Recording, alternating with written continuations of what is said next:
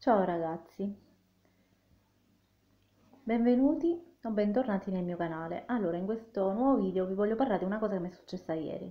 Però prima di dirvi cosa, cosa mi è successo vi devo dire un po' tutta la storia per farvi capire bene. Allora, io ero molto amica di una ragazza, non farò il nome per carità perché in rete non è proprio il caso. E praticamente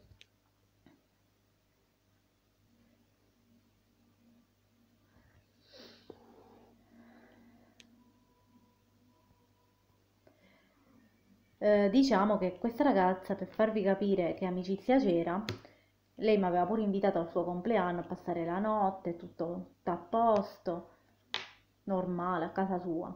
Cioè, per farvi capire che tipo di amicizia c'era. Cioè, una cosa proprio fenomenale. Fatto...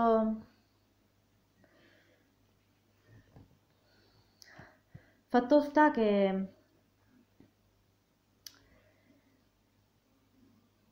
Dopo un po' io ad aprile noto qualche cambiamento in lei, la vedo fredda e distaccata.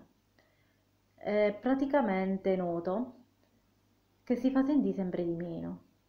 Io le mando un messaggio perché avevamo, c'eravamo anche scambiati il numero di telefono e lei um, non mi risponde, cioè visualizza ma non mi risponde. Dopo tipo un mese e mezzo mi blocca. Io ho un'applicazione che mi segnala quando un amico ti cancella dagli amici, ti blocca, si rimuove lui, praticamente roba così. Mi arriva questa notifica e dicono possibile. Come vado che le devo mandare un messaggio? Praticamente non posso perché mi rendo conto che lei mi ha bloccato anche lì. Su un sito, su un altro sito, lei non ancora mi aveva bloccato, le mando un messaggio lì in privato, per carità sempre in privato. Dico ma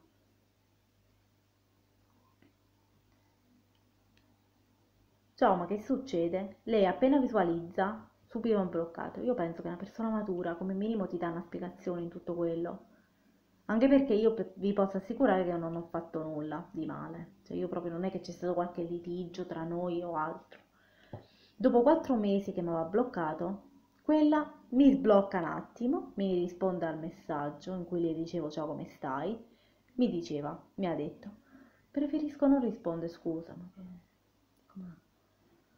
e dopo mi blocca, quindi io non, le, non ho neanche il tempo, proprio neanche il tempo di, di risponderle di ma che stai a dire, perché ti comporti così? Cioè proprio mi blocca. Praticamente ieri cosa è successo? Stavo tranquillamente a casa quando mi vede arrivare un messaggio in cui una persona, da un numero sconosciuto, perché nel frattempo, poi vabbè ho scoperto che era sempre lei, però nel frattempo è successo che... Uh, avevo cancellato appunto il suo numero perché ce ne dovevo fare tutto, quindi cioè, mi ha bloccato, quindi non e praticamente come sono andata che devo risponderle, già mi aveva bloccato un'altra volta. Cioè la classica persona che gioca a nascondino. Dico, vabbè, vuoi giocare a nascondino? Giochiamo.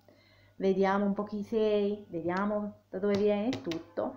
Tramite il telefono di mia sorella abbiamo scoperto che era sempre lei.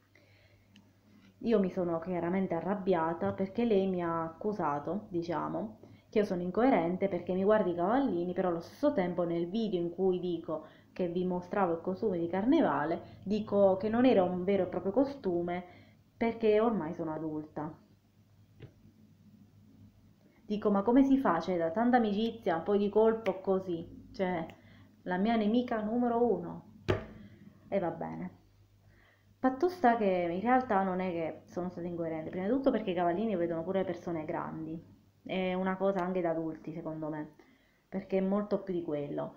Secondo, posso assicurare che a Chieti i costumi di carnevale per adulti scarseggiano. Quindi io che sono adulta, giustamente non è che posso andarmi a comprare un costume di carnevale per bambini dove me lo metta una gamba, scusatemi, cioè non posso. Purtroppo a Chieti è così, quindi me lo devo cavare, me la devo cavare da sola in un certo senso, e quindi è così.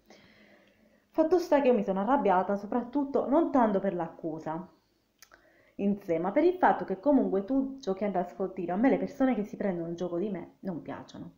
Cioè tu non puoi fare così. Cioè se tu giustamente mi vuoi accusare, stai comunque al gioco, non è che mi blocchi subito e lasci l'altra persona rispondere. Allora io che cosa ho fatto? Sono andata in un sito in cui mi sono resa conto che lei ce l'aveva ancora. Com'è possibile? Prima mi ha bloccato, ora mi ha sbloccato, ma com'è possibile? Le ho scritto, sono stata un po' dura, le ho detto, cioè in pratica ho fatto valere i miei diritti, perché dico qua io ho già troppi problemi, mi manca il mio fidanzato, soffro di pressione bassa. Eh, sono preoccupata per questa nuova influenza che arriva dalla Cina, quindi ragazzi, cioè, veramente, mo, non per qualcosa, ma questa qua, cioè, detto, ho voluto far capire, mo, ti prego, non ti ci mette pure tu. E poi, vabbè, l'ho bloccata lì, però dico soltanto una cosa, che se a te non ti sta bene i miei video, non ti stanno bene perché pensi che sono incoerente o altro, ma che cavolo li guardi a fama, tesoro? Cioè ci sono miliardi di video che puoi guardare, ma non guardare i miei. Cioè se a te non ti piacciono, oppure dici che sono incoerente, ma perché li guardi? Veramente una cosa assurda quello che mi è capitato. Comunque ho bloccato il numero, ho bloccato la ragazza e tutto. Io veramente mi sono spaventata perché quando ho visto arrivare quell'accusa mi sono spaventata perché era da un numero che non conoscevo, ho detto, ho pensato, ho detto ma questa persona come fa a sapere il mio numero? Poi alla fine l'ho scoperto chi fosse, è chiaro che lei mi aveva bloccato per farmi un dispetto, perché, perché di solito, allora, per come la vedo io questa persona non... Cioè, per come la vedo io, se tu c'hai la coscienza pulita e a posto, non hai problemi a rivelare la tua identità, però nel momento in cui mi blocchi l'identità, se ne va a farsi benedire, perché io non posso vedere più la tua immagine del profilo, quindi non so chi sei. Per fortuna che se non era per mia sorella, a questo ero ancora nel dubbio, dicendo ma chi cavolo è quella che, o quello che mi ha scritto? Per fortuna è tutto risolto. Anche perché di solito io il mio numero non è che lo vado a dare in giro, cioè di solito non lo do in giro, quindi quando mi sono vista arrivare quel messaggio mi sono spaventata a morte. Però mi chiedo come fa una persona, la migliore amica, a essere la mia peggior nemica. È un mistero. Bene ragazzi, per questo video è tutto, ci rivediamo prossimamente.